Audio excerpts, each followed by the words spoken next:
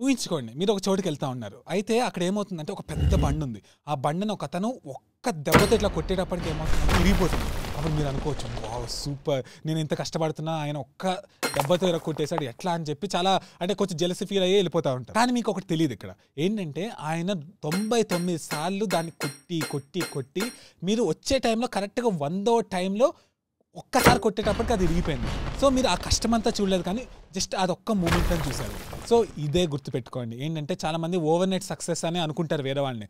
కానీ వాళ్ళు కష్టపడిందంతా చూడరు.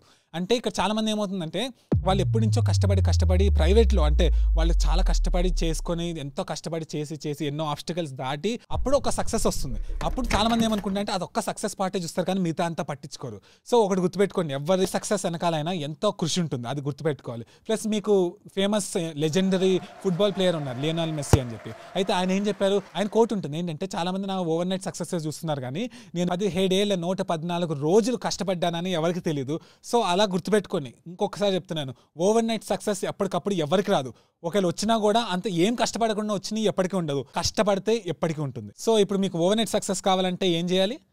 మీరు హార్డ్ వర్క్ పెట్టాలి. So thank you so much for watching ఇది సూపర్ వన్ మినిట్ సిరీస్ నచ్చితే లైక్ చేయండి కామెంట్ చేయండి సబ్స్క్రైబ్ చేయండి. బెల్ ఐకాన్ మాత్రం నొక్కటం మర్చిపోవద్దు. Thank you so much